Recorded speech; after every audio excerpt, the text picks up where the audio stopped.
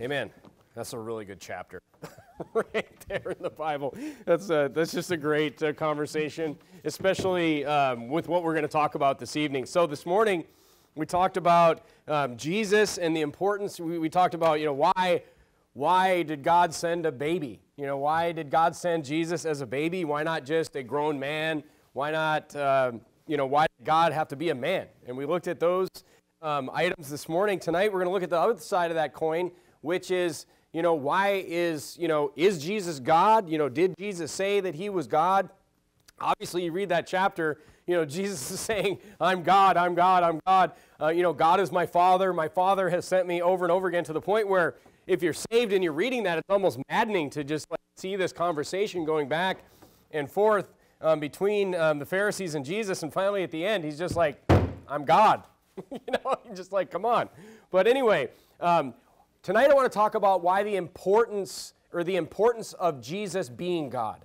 You know, as I said this morning, there's two, um, there's a lot of heresies out there against um, the Bible, against biblical doctrine. Obviously, there's a lot of false doctrine, a lot of false gospels. Um, but, you know, two major heresies are denying the manhood of Jesus and also denying the deity of Jesus. You know, this is the, you know, Jehovah's Witnesses. They deny the deity of Christ. The Mormons, to a degree, de- deny the deity of Christ. They, they claim he's a God. He's, he's one of many gods that we can attain that same level if we live right and do all these things. Uh, but no, Jesus is the God. He is the Almighty God. Look at John chapter 1. You actually keep your place in John chapter 8. Um, keep a bookmark there and go to John chapter 1. So, John chapter 1 is a great chapter to take people to, um, to just explain very simply um, that Jesus is God, that, you know, Jesus being born on this earth was man and God at the same time. Look at John chapter 1 and verse number 1, where the Bible says, In the beginning was the Word, and the Word was with God, and the Word was God. So Jesus is the Word, and the Word was God. Look at verse 14 of the same chapter. And the Word was made flesh and dwelt among us. So that is you know, the Word becoming born as the baby Jesus, and we beheld his glory, and the glory was as of the begotten of the Father, full of grace and truth. Of course, in Matthew chapter 1, verse 23, the Bible says, Behold, a virgin shall be with child, and shall bring forth a son, and they shall call his name Emmanuel, which being interpreted is God with us. So, right there, like his name Emmanuel means. I mean, the Bible literally defines it as, you know, Emmanuel, that's one of his names. God is with us now, which is the same thing John chapter 1, verse 1 and verse 14 says. Isaiah 9 6. Isaiah 9 6, the front of your bulletin, the verse of the week, the Bible says this is a prophecy of the coming of Christ. For unto us a child is born, unto us a son is given, and the government shall be upon his shoulder, and his name shall be called Wonderful. So he's got a lot of different names, right? Emmanuel, God with us is one of his names. Wonderful is one of his names. Counselor is one of his names. Notice how those are two, you know, separate words. Wonderful is a name. Counselor is a name. Look at the next one. The mighty God is a name for Jesus, right? It doesn't say a God or mighty God. It just says the mighty God. I mean, what do the Jehovah's Witnesses do with that? I mean, what do they do with that verse? The everlasting Father, the Prince of Peace. He's not a God. He's not you know, God like. He is the God. He is, you know, the, you know, the Trinity. This is the Father, the Son, and the Holy Spirit. He's the second person of the Trinity. Now, there's this, I don't know if you've ever heard this, or you'll, you'll probably hear this at some point. If you become, you know, if you go out and you go soul winning enough, you're going to hear this. This is something that you'll hear from secular people that know nothing about the Bible, is this idea that uh, yeah, Jesus never even claimed to be God, which is why we read John chapter 8. Because John chapter 8, the entire chapter, Jesus is telling the Pharisees that he is God, that he is the Son of God, and they're just not getting it. They're not getting it. But you hear this, it's one of the dumbest secular comments that I really I've ever heard, is just this idea that, you know, Jesus never claimed to be God. You know, just because he didn't say it in some, you know, dumbed down English sentence like, hey, dudes, I'm God. You know, I mean, just because he didn't say it that way, he literally said that he is God in John chapter 8. So, tonight in the sermon this evening, I want to show you why it's important. I'm going to show you Jesus's, I'm going to show you some red words. If you have a red letter Bible, I'm going to show you some red words that prove Jesus literally said he is God. And then I'm going to show you why he had to be God. Why none of this works if Jesus wasn't God. This morning we looked at how Jesus had to be a man, or none of this works. But Jesus, this isn't a zero sum game. He's 100% man and 100% God, and both had to be true or we're not saved. Salvation, the plan that God laid forth, would not work. So that's what we're going to look at um, this evening. So go to John chapter 8 now. Let's look at my, some of my favorite red words in the Bible, especially when it comes to Jesus talking about that he is God. Now, of course, the whole the whole debate between Jesus and you know the Pharisees is you know I am of my father, you are not of my father, you are of the devil, you know you're not of Abraham, you know, and he's just saying like if you if you believe the Father, you'd believe me. He's just trying to get this idea across that he and the Father are one. And if they really truly believed in God, if their heart was right towards their Heavenly Father, they would accept Him and He wouldn't be having this debate. And finally, at the end of the chapter, He finally just gets very, very blunt with them and just gets right to the point. Look at verse number 56. Look what Jesus says.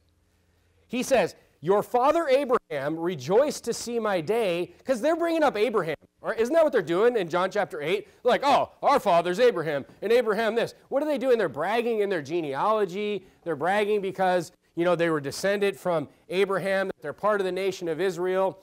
And like, like we've studied over and over and over in this church, none of that makes any difference. You know, Jesus says, I'm able of these stones to raise up children of Abraham. Look at verse 56. He says, Your father. So now he starts just, he's going to address them on their terms.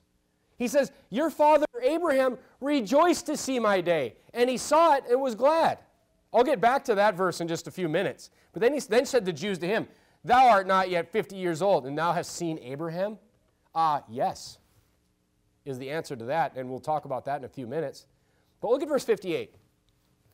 Jesus saith unto them, Verily, verily, I say unto you, before Abraham was, I am. So there's three things in these three verses that I need to point out to you about what Jesus is saying here. Turn to Exodus chapter 3. Before Abraham was, I am, Jesus says. You say, okay, that, that doesn't sound like um, proper English there. You know, is, is he kind of mixing up words here? No, I mean, look, look, there's nothing proper about the English that we hear today. Okay, so before Abraham was, I am is what Jesus says. It makes perfect sense. And you know what? These Pharisees knew exactly what he was talking about because they knew what Exodus chapter 3 said. Look at verse 13. 13 of Exodus chapter 3. Go ahead and go there because this is super important. And you know what? You should put a footnote in your Bible, if you don't mind writing in your Bible, in John chapter 8 and verse number 58, and just say Exodus chapter 3, verse 13 through 14. Because look at what the Bible says. Before Abraham was, I am, Jesus says. Look what he says in verse 13 of Exodus chapter 3. Look what the Bible says. And Moses said unto God, Behold, when I come unto the children of Israel, and shall say unto them, The God of your fathers hath sent me unto you, and they shall say unto me, What is his name? What shall I say unto them? Moses is literally asking God, What's your name? The people are going to ask me what your name is. What should I tell them? And look what God says in verse 14. And God said unto Moses, I am that I am. And he said, Thus shalt thou say unto the children of Israel, I am hath sent me unto you. Meaning, it's a re- I am is a replacement or a synonym. It's one of God's literal names. I am. God is literally saying, I am is the name that I want you to give to the children of Israel when they ask you what my name is. This is what Jesus was referring to in John chapter 8 and verse number 58. He's saying, Before Abraham was, I'm God. That's what Jesus says. Jesus never claimed he was God. Read, learn the Bible. Jesus literally said at the end, Jesus is so frustrated at the end of John chapter 8 after going back and forth and back and forth about who he is, and they are not getting it, he basically finally says to them, I am God. God is my name. I am is the name of God. And they knew exactly what he said because the very next verse, they took up stones to try to kill him. Because they knew he just said, I'm God. Look, the Pharisees weren't clueless about who Jesus was saying that he was. At the end of the Gospels, right before they crucify him, is like, they said, hey, why do we even need? They got all these false witnesses to try to have this mock trial. And finally, like, he's like, they knew exactly what he was saying. They, finally, they said in Luke 22, I believe it is, they said, finally, they said, why do we need witnesses? He just said that he's God out of his own mouth, and we all heard it. He just blasphemed. The Pharisees knew exactly what Jesus was talking about. They just didn't believe him. They didn't believe him. So Jesus literally says in verse 58, I am God. This is my name, just like God. So that's the first thing. I am is one of God's name. That's the first thing that we need to learn from these three verses. And the next one, he says, before Abraham, he's literally using it, that name as a replacement for the Lord or for God. And the next one, next thing you need to understand is that before Abraham, I am. So he's saying that they're saying you knew Abraham. He's like, I was before Abraham. So let me ask you this. If Jesus didn't say he's God, how could he be before Abraham? He literally said that he existed before Abraham. Is that possible for a man? So he says he's God twice here. He says he's God by, by having existed throughout eternity, and also his name is the same as God's name. So we see two proofs here. So, I mean, just because people know nothing about God or the Bible or the Word of God, I mean, Jesus clearly is, is saying that he is God right here. Now, look at verse, here's the third thing. So he says that he is, he literally says, My name is the same as God. he says, I existed before Abraham. And then on the third thing is this he says in verse 56, he says, Your father Abraham rejoiced to see my day. And he saw it and was glad. He's saying, you know what he's saying? He's saying Abraham saw Jesus. That's what he is saying. And that's why, that's why, again, they knew exactly what he was talking about because they said, You're not even 50 and you saw Abraham. And then he's like, I not only saw Abraham, I existed before Abraham. I mean, let me translate this into modern English for people because he's basically saying, Abraham saw me. You, you knew Abraham? I, I was before Abraham, and by the way, I am God. That, that's basically this, this thing broken down into modern, you know, simple English for people. Go to Genesis chapter 18. You say, Abraham saw Jesus? Yeah, it's right there in the Bible.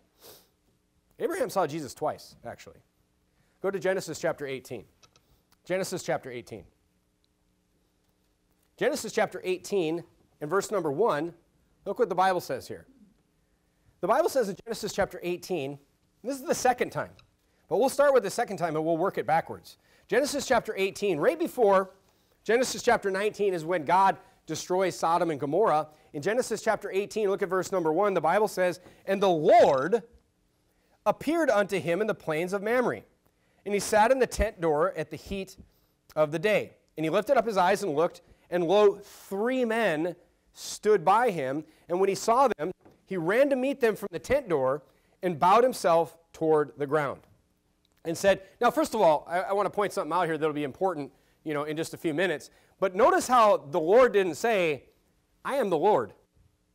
Abraham just knew that this was the Lord. It says, The Lord appeared unto him in the plains of Mamre. And then look at verse 13 or verse 3.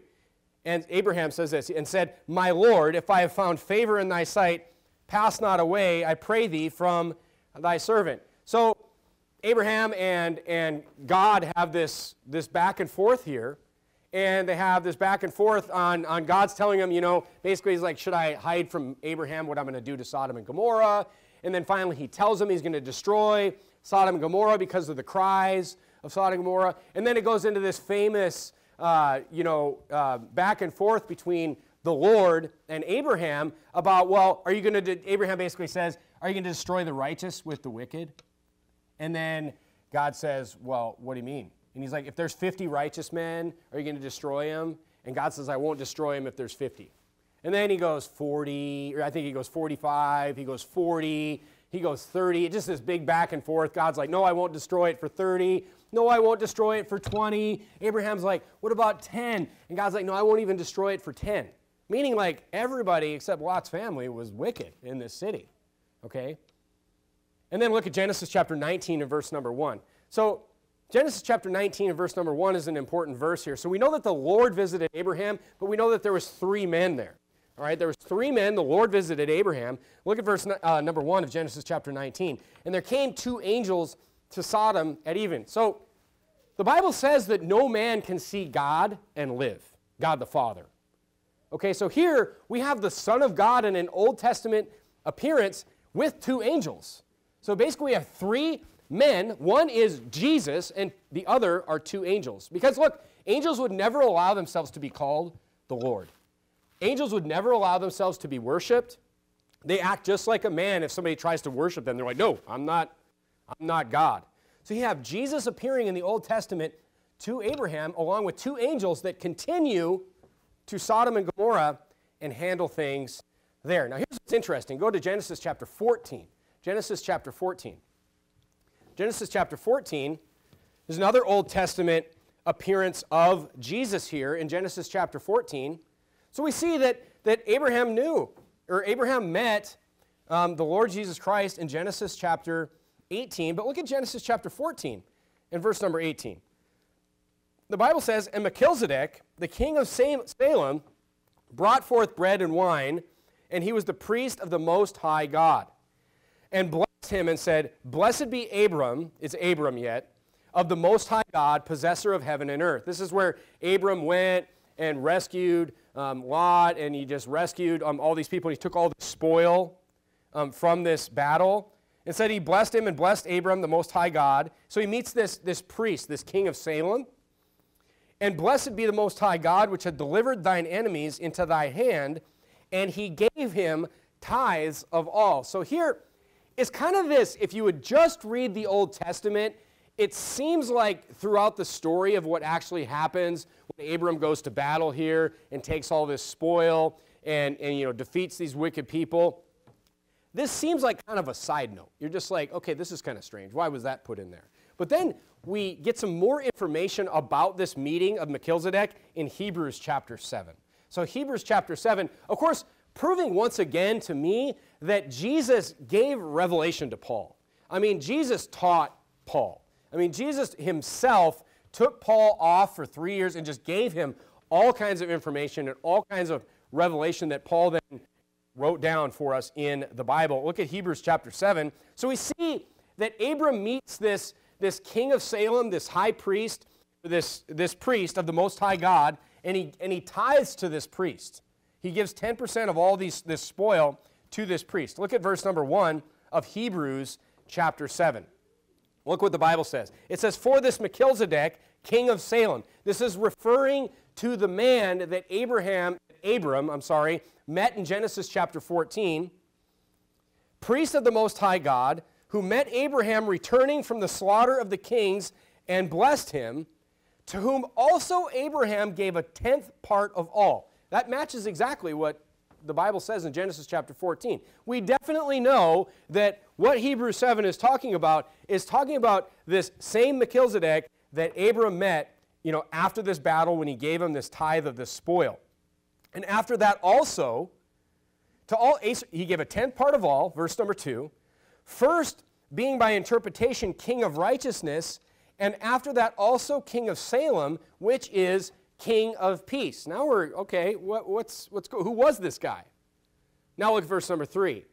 Now we see who he was.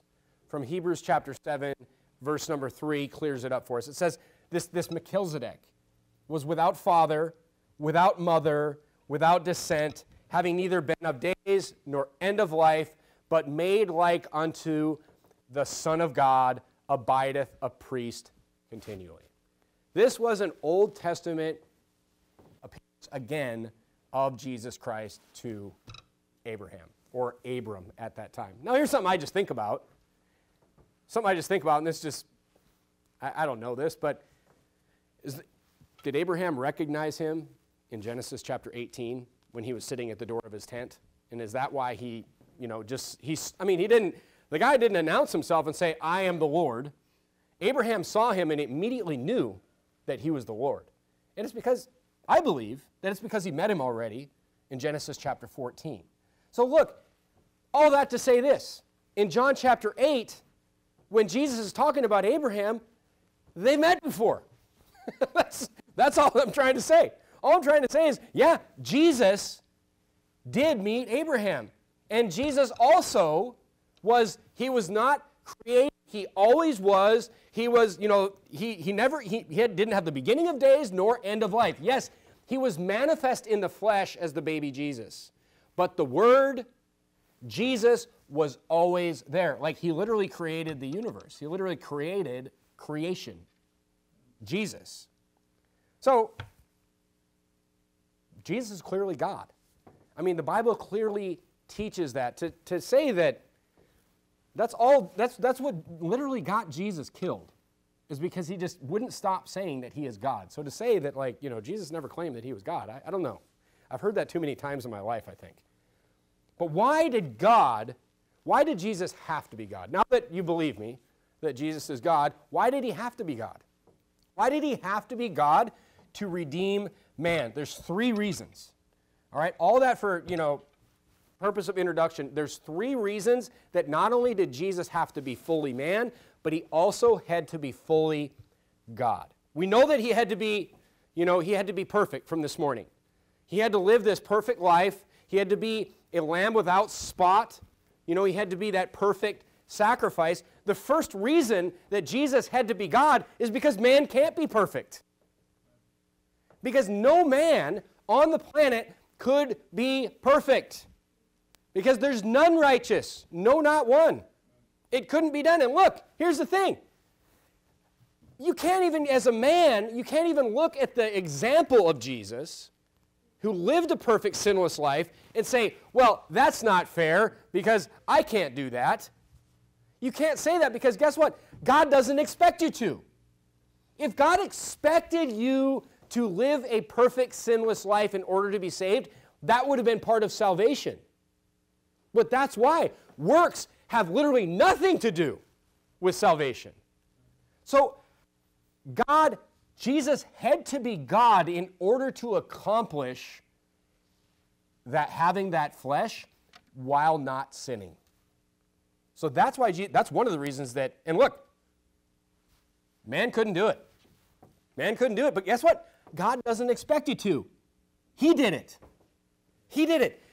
That's why works isn't even 0.5% of salvation. It's not any part of it. It's not any part of salvation. So we see that. Man can't do what Jesus did. Jesus had to be God in order to accomplish that perfect sinless life that was that perfect, innocent blood sacrifice that we talked about this morning. Now, here's the other one. Here's the other one. Here's, the, here's, here's reason number two and reason number three. And they both fit into this main category of this man can't defeat death. Man can't defeat death. Only God can defeat death. That's why Jesus had to be fully God. And why is it two parts? Why is there, you know, reason number two and reason number three? Because there's two deaths. And Jesus defeated them both, proving that he was God proving that he was God and also showing that like that's why the Messiah had to be God. Turn to Luke chapter 16. Look, the Bible says, first of all, the first death, man can't defeat the first death. The Bible says it's appointed, uh, you know, it's appointed unto man to die once. You know, I mean, we are going to die. It's appointed for man to, once to die, the Bible says in Hebrews chapter 9. You're going to physically die. I don't care how old you are or how young you are, you are, you are appointed to physically die one day. You know, unless we're raptured tomorrow, you know, which is not going to happen, you know, we're all going to physically die one day. So look, he defeats the physical death, that first death, but the main one, look at Luke chapter 16. Man cannot do what Jesus did, proving again that he was God and the necessity for him to be God. Look at Luke chapter 16. Look at verse 19. I just got in a, a debate about this. Somebody didn't believe in hell, and I just got in a debate with this. But notice how in the Bible, in Luke chapter 16 and verse 19, Notice what the Bible says here at the first few words of this, this verse. The Bible says, There was a certain rich man. Now, this is not, there, this is likened unto a certain rich man, or this is like as, or this is not a metaphor, this is not a parable. It literally says, There was a man. It says, There was a guy like this, and there was another guy like this. In verse number 20, it says, There was a, it, there was a certain rich man which was clothed in, clothed in purple and fine linen and fared sumptuously every day. And again, verse 20, and there was a certain beggar named Lazarus, which was laid at his gate full of sores. Look, this is a story of two people that actually happened that Jesus is talking about here. And the, the beggar, it says, and he desired to be fed with the crumbs which fell from the rich man's table. Moreover, the dogs came and licked his sores. And it came to pass that the beggar died and was carried by the angels into Abraham's bosom. The rich man also died and was buried. So the beggar died and he, he went to heaven. Abraham's bosom is just heaven. Okay, that's what it is. All right, it's that there's some weird doctrine that comes from this one time that this word is, you know, this, these two words are used. It's just talking about the beggar died and he went to heaven. And look, it really doesn't have anything to do with the fact that he was a beggar and the one guy was a rich man, other than it's very hard for a rich person to get saved. You know, it's very, you know, it's very unlikely Jesus says that a rich person will be saved. Why? Because they're proud and they're prideful and they don't believe that, you know, they need to be saved. But it came to pass that the beggar died and was carried by the angels into Abraham's bosom. The rich man also died and was buried. So they both died. The beggar goes to heaven. And look at verse 23. It says, And in hell he lift up his eyes, being in torments, and seeth Abraham afar off and Lazarus in his bosom. So the rich man dies and immediately, first of all, you know, you don't, there's no soul sleep. You don't, you know, go to sleep and for whatever until the millennial reign or after or anything like that. It's just you die and you woke up and he was in hell. I mean, hell is like as soon as you your physical life stops and you are unsaved, you are imme- your soul is immediately in hell. And you know, I have been told that people people are very fearful that are unsaved when they go into that moment, look, it's something in their conscience makes them very fearful of dying. And they get to that moment, and because hell is right at the door. It is right there. It's not 20 years off, it's not 50 years off. As you come to the end of your life and you are not saved, hell is right there. This man opened his eyes right after he died, and he was, and look, he was in torments. And he could see he could see Lazarus in heaven. And he cried. Look what he said and said, Father Abraham, have mercy on me and send Lazarus that he may dip the t- tip of his finger in water and cool my tongue. Look, I mean, Abraham's bosom, all it means is, all it was talking about is just referring to the place that Abraham was. it's all it was. He's saying he's with Abraham, he's in the arms of Abraham. That's all that this is talking about. And he cried and he said, Father Abraham, he's literally talking to literal Abraham here, have mercy on me, and send Lazarus that he may dip the tip of his finger in water and cool my tongue, for I am tormented in this flame. Look, he's tormented in, in a very specific way here. He's, he's burning. He's burning. It's a terrible thing to even think about. All right? But Abraham said, Son, remember that in that thou in thy lifetime receivest thou good things, and likewise Lazarus evil things. But now he is comforted, and thou art tormented. But here is the real key, right here in verse number 26.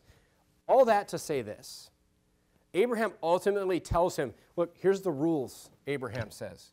He says, Besides all this, between us and you, there is a great gulf fixed, so that they which would pass from hence to you cannot. It's like nobody can come from heaven and go to hell, is what Abraham is saying.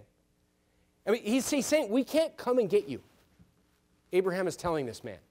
He's like, Abraham's kind of being a little bit compassionate here. He's just saying, look, he's like, even if I could, he's like, there's nothing we can do. He's like, there's this gulf fixed. We can't come to you. We can't come. Because what did he want? What did he want? He wanted Lazarus to give him some water. He wanted somebody to, to, to give him a little bit of comfort. He's like, we can't come there. We can't come there. But here's the biggest one. He says, Neither can they pass to us that would come from thence. he, what he just told this man that is in hell, he says, You can't get out. There is no getting out. This is the problem. Now turn to Revelation chapter 1 and verse number 18. Revelation chapter 1 and verse number 18. Why did Jesus have to be God? Why did he have to be the mighty God? Why did he have to be the only God? Period. Here is why. Because, first of all, man cannot defeat physical death. We're all appointed to die. We know that's going to happen, but there's more than a physical death, there's a second death. And death and hell were cast into the lake of fire. This is the second death. When you die in your soul, as an unsaved person, your soul goes to hell. That is what the Bible calls the second death. Yeah, and I get it. Hell is going to be cast into the lake of fire. But the point is, the death of your soul in hell is what that is that spiritual death, that second death. But look, you say, why did Jesus go to hell in Acts chapter 2? You say, why did Jesus' soul have to go to hell? Where the Bible says in Acts chapter 2, in verse number 27, it's a little bit of an obscure thing. It's a little bit of just, it's kind of just mentioned a couple times in the Bible. It says, Because thou wilt not leave my soul in hell, neither wilt thou suffer thy Holy One to see corruption, in verse 27 of Acts chapter 2. Why did Jesus' soul, when he died on the cross, go to hell? Why did he have to? Why was it necessary? And look, I get it. God would never, you know, put us in, in danger of something that he wasn't willing to go through himself. We see that in his character from, from this morning's sermon. But here's the main reason. Look at Revelation chapter 1 and verse number 18. This is the main reason that Jesus' soul went to hell. Look at verse number 18. It says, I am he that liveth and was dead. And behold, I am alive forevermore. Amen. And guess what? And have the keys of hell and death. the main reason that Jesus went to hell, his soul went to hell, is to prove that he could come out. Is to prove that he could defeat not only that physical death and physically resurrect, but prove that he could defeat the second death. He could, look, in order to completely defeat death for us, both deaths have to be defeated. Both of them, the physical death and the spiritual death, and he did both, and he proved it. And only God could do that. Man cannot do that. We can't defeat the first death or the second death. We can defeat nothing. Look, it's ultimately you say you say why is this important? Look, this is super important when it comes to salvation. You say why? Because in John 10 28, where he says, And I give unto them eternal life, and they shall never perish, Look, you know what Jesus is saying in John 10 28? He's like, when I give you eternal life, then he says the other side of it. He, does he really have to say anything else after that? I give to them eternal life. We got it. But then he says, he says the opposite from the death perspective. He says, they shall never perish, neither shall any man pluck them out of my head. But look, in order for God to give eternal salvation, he must have completely conquered death. Completely. The first one and especially, especially the second one. Because he had, he had the keys. He could go in and he could come out. Meaning that life that God gives you, that eternal life that God gives you, will never experience that second death. Could God say that if he didn't have power over it? Could God say that he could grant you eternal salvation if he didn't have complete power over death? He couldn't. But he proved to us in God, in, in, the, in the God part of Jesus, that he could completely conquer death. So Jesus rising from the dead, the first, you know, that was conquering the first death, but him coming out of hell was conquering the second death. It was completely, you know, it was total power. That's why you have eternal salvation, because God has total power over death the first one and the second one, not temporary power, not partial power, complete power. That's it. I mean, that wouldn't be true if you could lose your salvation. I mean, that wouldn't be true if you could lose your salvation. I mean, because it's not of works, and God, I mean, it's not of works, and God has complete power over death. That's why you have eternal salvation. I hope that makes sense, but that's exactly why Jesus had to be God. right there. And if he wasn't, eternal salvation would not be something that would be achievable for us. So, look, God took complete ownership of us, as we talked about this morning. Even after our rebellion, He used the same tool that He used to create us to save us as we rebelled in between. And He had to be fully man and He had to be fully God. And look, here's another thing only God could execute. I mean, the more you dig into this plan and the more you see how He did this, the more perfect it just gets revealed to us. And look, it, only God could do such a perfect thing successfully. Perfectly executed for our imperfection, if you want to think about it that way. Back in Isaiah 9 6. Look, this is the whole package. This is the whole package this Christmas. For unto us a child is born, unto us a son is given. This is the gift. I mean, think about this for a second. Think about this for a second. I kind of talked about it. I want to talk about it in a different perspective than I talked about it this afternoon because I'm talking to a church full of saved people. I'm talking to a church full of people that have this gift. But that puts a little bit different perspective on all the stuff that we get for Christmas, isn't it? I mean, this is the gift. We, we give each other all this stuff you know, and thank you for the stuff, and here's some stuff for you, and here's some stuff for me, and then we send stuff all over the country, and, and we buy stuff, and we, we put it in a box, and we spend as much on the box to ship the box across the country as we spent on the stuff in the first place, and nobody needs the stuff. Like I said, you know, I got a really nice tie here, and, and I mean, I found myself this tie and this shirt. I found myself like staring at this tie and this shirt. I was like, could it match any better? They, I mean, how did they find this shirt, this shirt and this tie. I mean, I found myself just, I was trying to go over a sermon this afternoon, and I was just staring at my shirt and my tie. I'm like, this is amazing.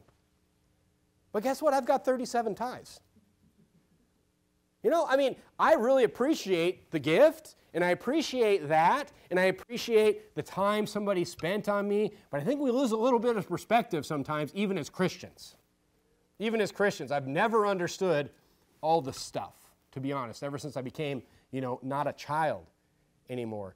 The true thing is this perfect package of Jesus. I mean, how could you ever be in a bad mood? Look, I'm in a bad mood sometimes. I'm, I'm not, I'm not going to lie to you. But the point is, here we are. We, I'm not preaching to a group of people like, hey, you know, I was preaching, if I was preaching this to a bunch of people that weren't saved, I sit here and I try to convince them, like, look, you don't need a tie, you don't need stuff, but you need this gift. You need the Messiah. Here I'm talking to a bunch of people that have this gift. I mean, what a beautiful Christmas every single year. And look, Jacob asked me today, it was Jesus born on the 25th and all, or the 25th. It doesn't even matter. None of that even matters. Probably not.